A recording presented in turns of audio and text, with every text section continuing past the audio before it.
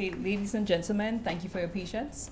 I now present Honorable Wayne Girard, Minister in the Ministry of Finance and MP for Anse La Raye. Morning, morning, members of the press. Good to see you again. I'm, I'm beginning to get comfortable. That's good. Eh? Yeah, so this morning I thought it is only appropriate that we update you on the work that took place um, on the Anse La Raye Bridge. Uh, as you would have noticed, there was a demolition of some of the houses um, in order to create the bypass uh, for the construction of the new bridge. So that went on very, very smoothly. Um, we took some time to get to that point because we wanted to make sure that we relocated the affected residents properly. It wasn't simply of us just throwing them out in the street. So we made sure that there was relocation in place before we went ahead and, and did that. Um, I would like to also update you on the installation of the sewer treatment system. Um, you may have heard um, that there was some uh, possibility that one existed. But I think on Friday last week, um, some members of the media did visit Anse La Raye, and they're still apparently looking for the sewer treatment system. Um, I would like to remind my constituents that it's only uh, last week that the Prime Minister approved the million dollars to put in the sewer treatment system. So at the moment, it doesn't exist. And what I said previously with regards to the sewer going into the sea was was the intent. And if it was not the intent, then somebody needs to explain why it is it wasn't in place before the construction of the facility. I think it's also appropriate that I address you on the upcoming budget dates. Um, on the 26th of March at 10 a.m., the Prime Minister will lay the estimates of revenue and expenditure, and at 3 p.m. will be the Standing Finance Committee. On the 23rd of April um, at 10 a.m., the Prime Minister also will lay the appropriation bill. This year, our priority, the Prime Minister has indicated, would be infrastructure and when we say infrastructure, it does simply mean roads. I mean, the Prime Minister made the point to indicate that schools are involved, the airport is involved, the port is involved. Um, so not simply uh, a matter of, of roads. We, it's a responsibility that the Prime Minister takes very seriously. We inherited a situation, to be quite frankly, where the, the, the road network was in a mess. And we've tried our very best to make sure that we keep up with the, um, the the deterioration. Um, but as you would well recognize, when we came into government, this is a very significant point, the debt to GDP ratio was 101%. As of December 2021, paying in mind we got into government of July 2021, as of the check that was done by the, the World Bank and the IMF as of December 2021, our debt to GDP ratio was 101%. So I think the Prime Minister has done a very, a very sterling job to get us to where we are at the moment, and I have every confidence he will encourage us and will support us in delivering um, for the commitments that we made to the people of St. Lucia. Um, thank you very much. Any any questions? I will happily take them. Just one quick question. yes. With the demolition of regarding the bridge, bridge mm -hmm. So with the demolition of the houses and the structures, mm -hmm. do you expect a, a, larger bridge? It will take a wider dimension. Yes, we expect to have a two-lane bridge. Um, at the moment, as you know, it's uh, it's a one-lane bridge. Um, so the intent is to have a two-lane bridge. Um, with, um, so what you've seen built at the moment is the bypass. So we create the bypass, then we remove the existing bridge, and we install a much, a much more appropriate bridge for the community of, of Anse La Raye. The days of Anse La Raye being seen as the backward community, the community with no ambition, the community that always seem to be interested in is, is, is other things interested in other people, but we seem to get the brunt of the focus of what we've not been able to achieve. Uh, going forward, you'll see a remarkable difference in Anse La Raye Canaries. We, I'm from Anse La Raye Canaries, I'm from Jacmel, um, and I take personal uh, pleasure in ensuring that I deliver on those commitments. It will be a new constituency at the time of the next general election. I read an article that spoke about a $40 million investment from the World Bank mm -hmm. for fiscal and green reforms. Yes. Are you able to comment on that? What it does it entail and what is it for? so we, and it is something that we inherited, to be quite honest. There was, um, and the former Minister of Finance never admitted it. St. Lucia uh, was born as if there was no tomorrow. So we needed to get some assistance, they needed to get some assistance to be able to finance the expenditure that they were essentially encouraging. So it is something that we did simply to ensure that there was no break in continuity because we did inherit a very difficult situation as I was saying to 101% of debt to GDP ratio is a significant figure. Um, of the countries in the region and the world, I think St. Lucia would have borrowed two and a half times more than any other country.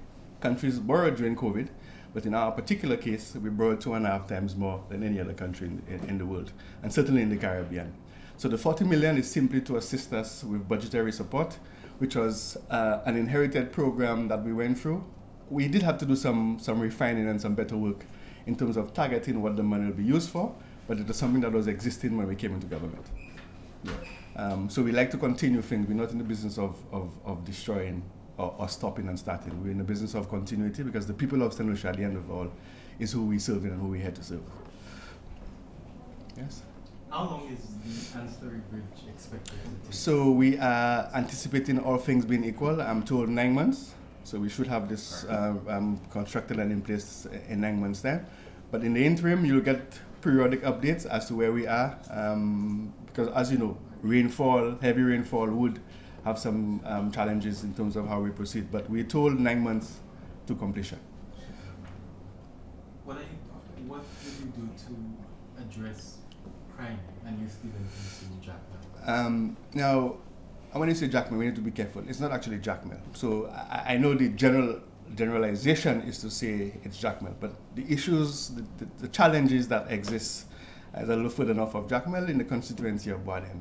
It is something that we are keeping a very close eye on. As you would have noticed over the last few weeks, there have been nothing um, happening there. As a matter of fact, last night, whilst I was in Jacmel, the SSU was, was making its regular rounds. So we recognize the challenges that exist there, and we're trying our best to ensure that we're not a community known simply for all things negative, including crime. We, we, are, we have a lot more to provide to the country and to showcase ourselves than, than just that. Um, I know you will be able to give yes. more details on this, but you know, it's a very um, concerning matter. Mm -hmm. Young people, I mean, this was rural castries, mm -hmm. but do you think there's outside influence, I mean, not just the kids from the area, but mm -hmm. outside influence in, in bringing into this crime? crime uh, I think partly. I think I think also we have a system where um, residents go overseas from a particular community. Um, they find themselves in trouble overseas. They get they get trained in the in the things that are not lawful, and then when they are deported, they come back to the country and create a problem. So there, there is an element of, of, of outside influence, but I think we all need to just redouble our efforts to do what we can to mitigate that outside influence. When I grew up in Jacmel, um, if I ever saw a fight it would be very rare and very short-lived because the community would separate. In this particular instance, you find everybody's paying a blind eye and saying it's not their business until it gets to their doorstep. And there's one thing we know for a fact. It may not get to you today, but at some point, if we don't arrest the situation, it will get to your doorstep. And that is why the Prime Minister did the two and a half security levy. It is not simply because we are happy with the, the minor benefits we get in. We wanted to enhance our, our police force give them access to more equipment, more technology, and that is one of the reasons, the principal reasons for the two and a half levy, because we know we could always do better, and we want to do better. I mean, nobody wants to live in a society where they have to worry about when they leave their home, when they come back, whether the furniture will be there, can they go out and have a decent time. On the 26th of January, and I will come back to you to announce that officially, we're relaunching our fish fry and Anse La Raye. I would like it to be a very safe environment. Um, I, I, would like all of you to come spend your money um, in the community and I don't want you to feel harassed or, or threatened. It's in our interest to ensure that we have and maintain a very safe community and country. Good afternoon. Wow, it's that time of day. The year is flying. All right. Um, I just want to, before I open for your questions, I just want to tell you that I've always taken a pledge to speak the truth to, the people of St. Lucia, even though the truth is very uncomfortable. I know it's, it was very uncomfortable for the UWP to understand that they destroyed a, a, a holding facility without making adequate preparation, preparations or adequate arrangements for housing people who were arrested. I know it's very uncomfortable for them to admit that was, that was irresponsible. And uh, having destroyed that facility and not creating any viable arrangement to detain arrested people people arrested on suspicion, people arrested to be, to be charged in the future, and haven't been so short-sighted as to destroy that facility. Considering the fact that we are rebuilding that uh, uh, uh facility, I expect the United Workers' Party to be very ashamed. But truth is, there was absolutely no place, there was no holding facility in Castries for the detention of arrested people. And the police force, apart from, and I want to commend them and thank them for having to find places to detain arrested people. Gros Islet, Babonneau, Marchand, Marigot, Anse La Raye, sometimes as far as Soufrière. When these cells were full, there was no place to put these people. This is an uncomfortable truth, the responsibility of the United Workers' Party, which they are ashamed to admit. And fact is, very uncomfortable, some of these people who were arrested had to be released because there was physically no place to put them because the United Workers' Party destroyed the custody suite. So I know it's very uncomfortable, but that, that is a fact. And I want to thank the police for having to deal with that inconvenience. It caused an increase in the use of our resources. Police vehicles had to be used to transport detained people, and it caused quite an issue with our national security. That situation has been rectified with the construction of the custody suites. But it was highly responsible and an act of carelessness on the part of the United Workers' Party to destroy the custody suites. We are rebuilding the custody suites, among other things that we are doing for the police, among other things. We're doing many other things in terms of the physical, the physical existence for the police. Work on, I want to invite you to have a tour sometime on work on the Gros the, the northern headquarters for the police is situated in Islet. I to invite you to have a talk, a talk that at some point. Again, an act of irresponsibility. That was supposed to be built from 2016. That was supposed to be built, not built. Irresponsibility. Then the Vieux police station, that there was a mold infestation in that, in that police station from since 2020. Let's say 2019 was COVID. Again, no work done there. We're the one who started to do work on that facility. You, you, you understand? There's several other police uh, uh, facilities. No work was done. We're going to be repairing them. We're going to be renovating them to ensure that the police have a better environment to work on. On Bordelais, the situation which inherited as far as Bordelais is concerned, you understand? We have to, you have to have discussions to find out what was the situation in Bordelais in 2021 when we won when we won elections. So the, the, national security situation is a situation that has many, many, many facets. What work happened at Bordelais? What was the condition of Bordelais when we took government in 2021? These are the things we have to consider. So again, I want also to note that the homicides in this country, I'm very, very concerned about it. But fact is, for the latter part, the last half of 2023, the percentage in homicide rates decreased substantially when compared to the first half. No comfort. I take no comfort for that. I'm stating a statistical fact that in the second half of 2023, the homicide rate decreased when compared to the first half. The measures that we put in place, these measures are going to be strengthened eh, this year. Hopefully, we can continue that downward trend that was seen in the second half of 2023. But it's not good enough. It ought to be better. But I would thank the police for, for the efforts. I want to thank all the NGOs for their efforts. But we are hoping that we can continue. sorry, we can continue that trend in 2024. But the last, the, the second half of 2023, there was, if you look at it, there was a substantial decrease in the number of homicides, but not good enough. Nothing to boast about. These are the facts. Also want to congratulate Miss Nina Compton, daughter of the late Prime Minister Sir John Compton, and Lady Janice.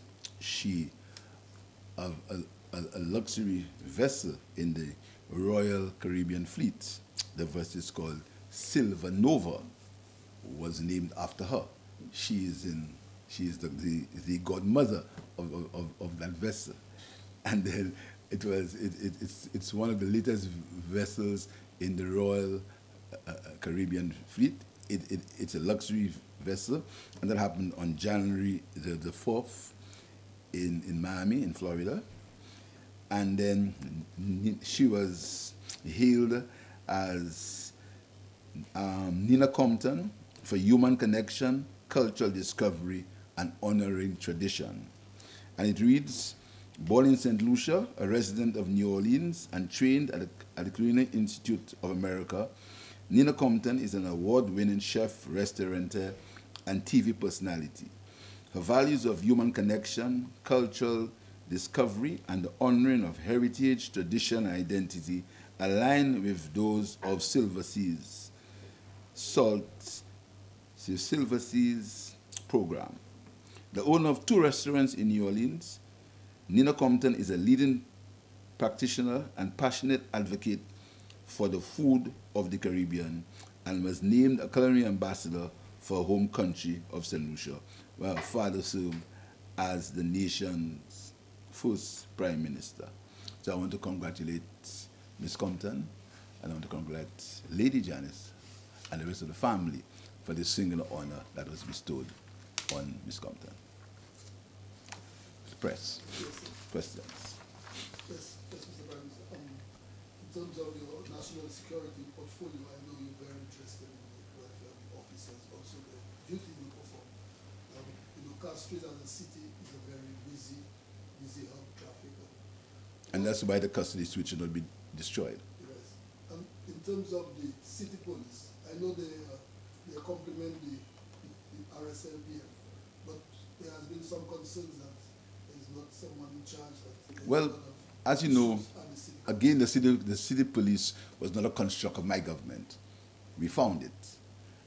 I've asked the Minister of, of Local Government to have a, a, professional assessment of city police, which is happening now.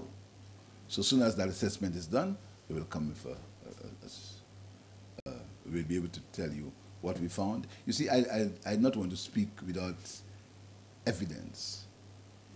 See, so the assessment is being done by a professional. When assessment is done, we'll have a conversation with the city police.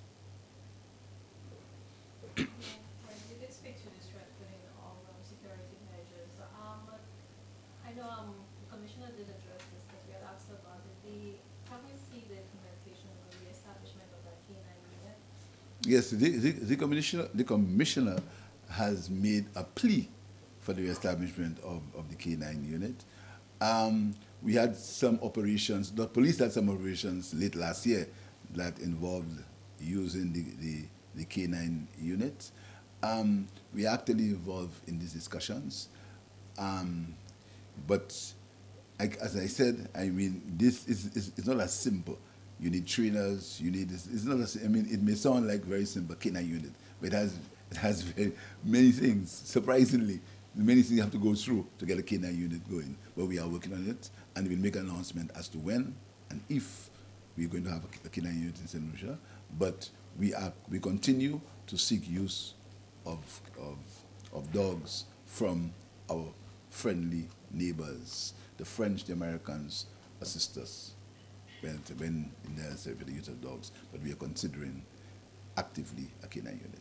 You said you have to train officers. Um, wasn't there one canine unit before? Yes, yes, there was, but you know, as most things, you know, and you know, I always tell you, I don't, I'm, I'm, I'm not in a position to make any to opine on police operations, and I insist in that position. I'm not, I can't opine on police operations. I'm not a police officer. My father was, not one. So, in terms of the training that's necessary, I have to go strictly on the advice of the police professionals, commissioner and the staff. What I know is the commissioner, the commissioner has asked for a, a K9 unit. We're going to have these discussions, and I will tell her the resources that are available if they become available, and for the details on training and the logistics, that'll be up to her. That's her job. She is the commissioner of police. She's the one, she's a professional who has the responsibility for ensuring that law enforcement happens.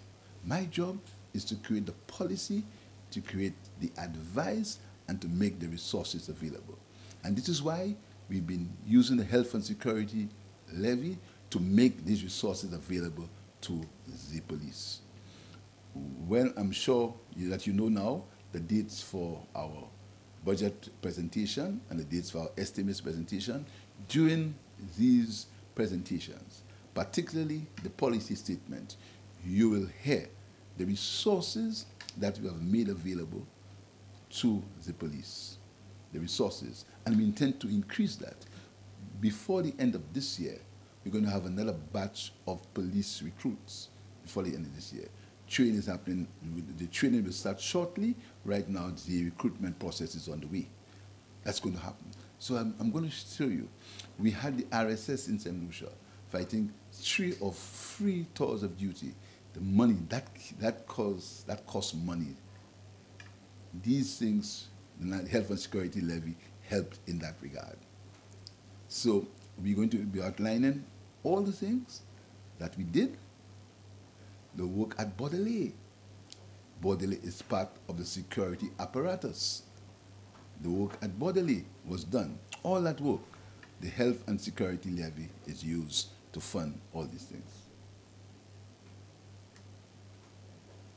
Yes. Yeah.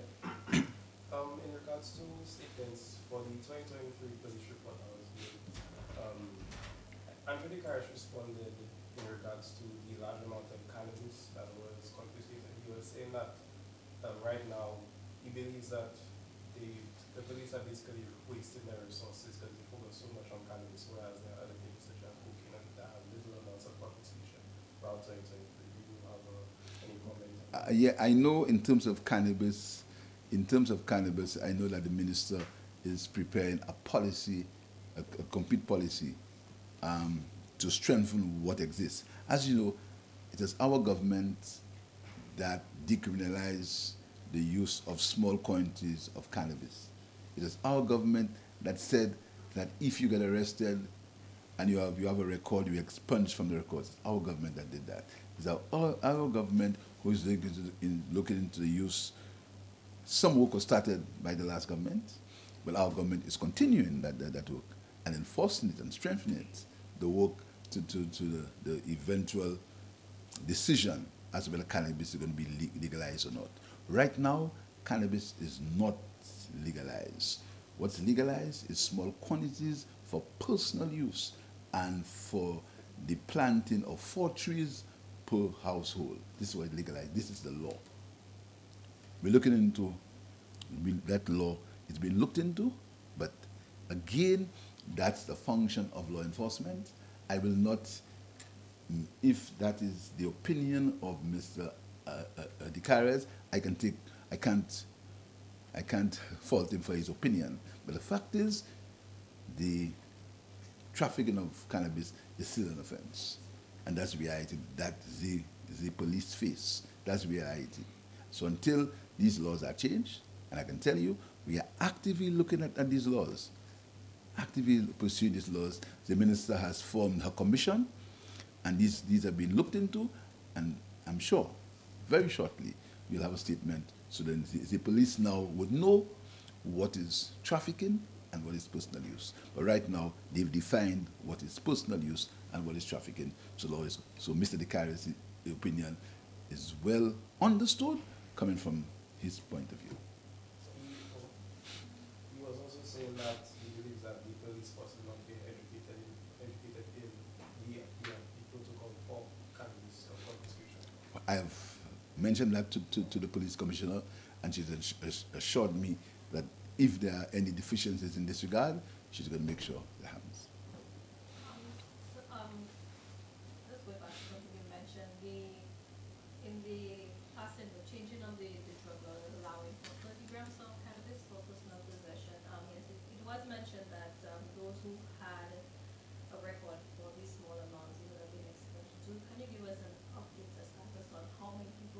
I can find that out for you. I can find out for you. Um, I'm, I, I, I'll ask my crew to find out for you. I'll find out for you, yeah. Because again, that doesn't come to me, that goes through the process. You see, our government is a government of processes.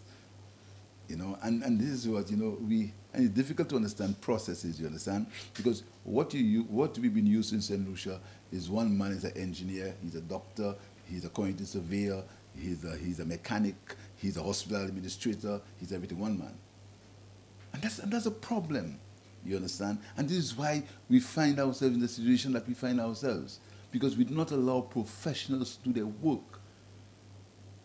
Of course, we have issues, but professionals must be accountable. So, what has happened is that politicians have tried their best to pretend that they have the answers to all the, the, the questions in, in, in, in, in, in They're not. So our government is a government of processes. This year, we are going to be calling for an increase in the implementation rates.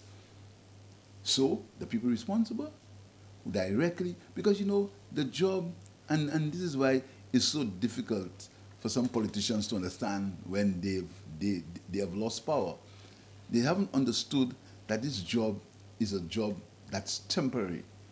It's not, it's not a permanent job. You sit at the dictates of the people of the country. So you can't take it all for yourself.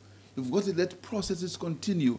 When I'm no longer the Minister of Finance, the Finance Ministry will continue. It's not mine. I'm just holding for somebody, you understand? And this is hard to understand. And it's why you have all that bitterness and all that, that, that all that, all that calumny. Because people haven't understood that their job was temporary. And I want to tell to all budding politicians, those in my government, those who want to see government, that being in government, especially as a politician, is a temporary phenomenon. When, you, when you're in your father's business, you can inherit that. But you don't inherit governments. Governments are not left for you because you believe that it, it, it, it's your place. People elect you. And I've been very, very fortunate. People have elected me six times to represent them. I will thank them profusely for that. I will never not have gratitude for the people of Castries East who've elected me six times. My singular greatest achievement in life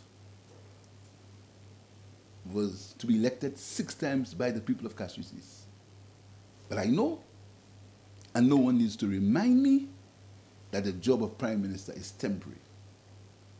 It's a temporary job. And I think people should think of that.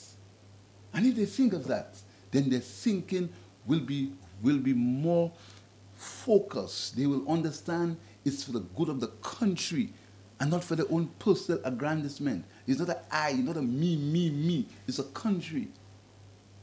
And this is what I try to do. I try to involve all my ministers. This morning you heard the Honorable Wayne Girard, who is the minister in the Minister of Finance. He's, he's out there working on the budget with me, doing what he has to do, seeing about his constituency. We have to develop this thing holistically. It can't be a one-man show. And this is the government, and I will not lead a one man government. I have confidence in my cabinet. Each man and woman have their responsibilities which they have to follow. It's not a one man show. In addition, I spoke to Mr. Girard about this, but I also want to comment on it. Um, they, I read an article about a $40 billion investment from the World Bank. Um, no, it's not an investment. It's a, go ahead, sorry. I think it's a loan a policy-based loan. You can correct me, that's A. PBL loan, yes. For uh, fiscal and, and reforms. Yes. Can you comment on Sure, sure. It, it, it's a policy-based loan from the World Bank to help. The, we, we have two policy-based loans, one from the World Bank and one from the, from the Caribbean Development Bank. These loans had some pre, pre, pre-disbursement conditions which we had to, to do. We had some changes in, in legislation, which we've we, we, we done. We actually have done it, or in the process of, of finalizing it. These conditions were met, and the World Bank were, con were convinced that in the trajectory of our economy and the work we had been we have been doing, we it was it was okay for us to get a policy-based loan for forty million dollars. That loan is going to be used to do a few things. In fact, both of these loans, Caribbean, Caribbean Development Bank and the World Bank, these loans are going to be used to modernize the Inland Revenue uh, uh, Department, to make it, to modernize it, to get it up, up to date with modern uh, uh, technology. Some of it is going to be used for land administrative, land administrative matters. Some of it is going to be used for budgetary support,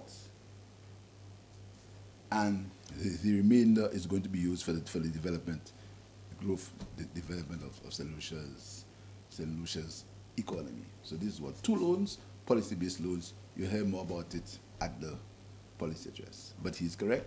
So we're very, we're very, we actually pass all the tests from the World Bank to get these loans. But from the, both the World Bank and the CDB we're satisfied that the economy of St. Lucia was being managed in a way that they could make these two loans available for us on the concessionary financing without, without direct interference in the running of, of the economy. We met the conditions. That's what we had to do. According to a UN report, um, they expect food prices to be generally high in 2024. Yes, that's a is, concern. Is there anything that the government is doing to help out with that? Uh, is there anything the government can do to help out with that? And, and you know, I just, before I came here, I just heard that the, the uh, a U.S. cargo ship was attacked in, in the waters by the by the U2, the, the, the, the Houthi rebels, yeah, in the Red Sea. You know, and you know, issues in the Panama Canal issues. You know, what St. Lucia needs, and we had a discussion on inflation, and the comments from the opposition on, on inflation, but on the cons consultation were childish, immature. I also heard a discourse on inflation, which was, no, above, above the wrong table, but I heard a discourse, a, a pronouncement on, the, on, on, on inflation. And you know, there was a comedian called Paul King Douglas. And that, that pronouncement was typical to what Paul Keens-Douglas would, would, would, would say. but I mean, but I mean, if it was the country we were running, that would be cause for amusement. But the country we are running, inflation last year was six and a half to ten percent. That was the range. Inflation before that, there was deflation after COVID.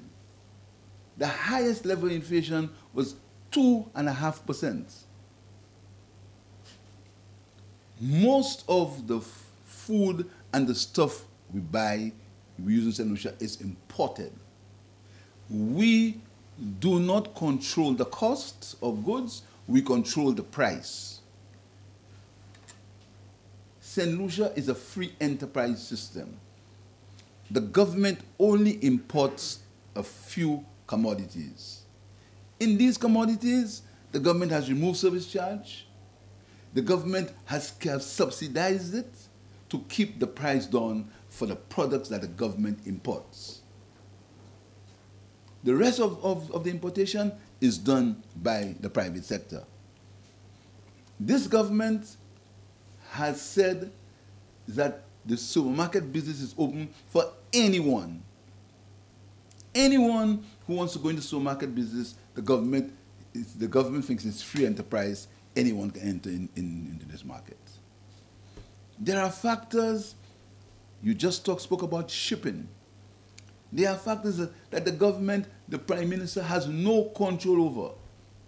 What is the solution? What we have control over, we've removed the service charge on all the goods that are in the baskets. St. Lucia has the highest number of non-vatable and exempt goods in the region. In the region. There is no VAT on electricity. There is no VAT on water. There's no VAT on these two items. Again, in, in, in St. Lucia. We continue to subsidize LPG, cooking gas, the 20 pound and the 22 pound cylinder. We continue to subsidize it. We continue to encourage people to, because you remember, um, we encourage people to use locally produced goods. We are enhancing the resources at the Ministry of Agriculture so we can plant more food so we can use it. When the Minister of Finance tries to emphasize the use of local products, his adversaries try to take it as if it's a joke. Instead of looking at the message, they try to attack the messenger. The messenger is temporary. The fact is, even if you attack the messenger, the reality is inflation is ravaging the world. That's the reality. Attacking the messenger doesn't change that, that reality. Doesn't change it. Fact is, you can attack the messenger, but when the shipping costs go up, it's going to impact on St. Lucia even though you attack the messenger. So all we're saying is that the whole phenomenon of inflation is a worldwide. If the Ministry of Finance or if this Prime Minister could have done anything more, and we are continuing to explore what we can do more. We have a discussion with the Chamber of Commerce as to the VAT exempt goods and non-vatable goods. We have a discussion with them as to how we can deal with, with that list. We have cushioned the impact of inflation by removing the VAT on building materials. We have cushioned, we've tried to cushion the impact of inflation by removing the VAT on equipment bought by doctors and medical people so the cost of these services can decrease. We continue to subsidize LPG. The government gets its revenue from duties, import duties, etc. This is what runs the country. We've continued to give um, income tax exemptions. We've continued to have amnesty for income tax due, all kind of tax, including VAT. We've increased the threshold from which people pay no tax. We've increased our social support to almost double. We've removed facility fees to ease the strain on people. So the government is cognizant of the fact that the price, that inflation is ravaging the countries, even including St. Lucia. But we hoped that there would be a decrease in shipping costs. Now, because of what is happening, these, that, these shipping costs, it is not sure whether they are going to come down as we thought because of what is happening now in, in, in the world, is as far as the world maritime situation is concerned, which we have no control over. So, what we must do as a country is to have a mature discussion on inflation, as we did before. I'm going to instruct the Minister of Commerce to continue that, that discussion. Continue it, because many ideas came out of that, that, that discussion. A mature discussion on inflation, which is our concern, which is the government's concern. But attacking the messenger will not help. Because in attacking the messenger, no one has come with a viable option as to how you will reduce the impact, further reduce the impact of, of inflation on the people of St. Lucia. Just one quick question. Arising from the um, consultation, the um, chamber put forward um, point of you know, establishing trade links with the South. Brazil. Brazil and this. Is that a, a We are actively, we've been actively pursuing that for long, but again, there are psychoscientific things you have to deal with. You know, it's not a, it's not a, I, things are not isolated. You know, it's holistic. Now, in important things, some other parts, you have to deal with the psychoscientific situations. So we should have to ensure that that is that's done. But we are actively pursuing that. Actively pursuing. Yeah, from the inflation. Final consult- question. Okay. From the inflation consultation, uh, one of the business owners mentioned that because of the, the imported goods, well, that's for the private sector, some of the goods that are imported, they stay on the docks or they stay in the, sh- uh, a little too long, and then the amount of rent that they pay. Very good question. That is why you understand how it's coming together. That's why we're taking the. That's why we're taking the cruise away from SLASPA. That's why SLASPA bought a new. That is why SLASPA bought a new crane. You see, I'm very happy with, with the with the, with the you. The way I'm very pleased with, with you. Why, who you work for? A choice. I, I'm very pleased the way you an, you are you are analyzing and analyzing is very good. That is why, that is why we SLASPA just bought a new crane, so that, so that the processes at SLASPA can increase. And it's why we've taken crews away completely from SLASPA, because whereas SLASPA only got 10% of its revenue from crews, and they had to put so much. They had a loan of 20 million dollars for, for, for cruise. So we said we've taken that away completely from SLASPA. So SLASPA can concentrate on cargo, can concentrate on making the processes there easier. They've just bought a new crane. They're going to be buying some more equipment to make it. So your question is perfect. These are all these are all parts of the of the puzzle of the cost of goods in this country. Any more questions? Yes, Go ahead. Um, is there any consideration to the call from the president of the National Consumer Association, Dr. Fitzlouis? She had called for an extension of the farm concession. Have you made the, the, the, we have a lot of respect for the president of the National Consumer Association. We have a re- and then her call is going is being considered. One more question. There's, there are rumors of uh, an alleged shortage of sugar on island. Is there any truth to that? I am- Um, are you in a position to comment? I have not been advised on that. Okay, no. Okay. Thank you very much.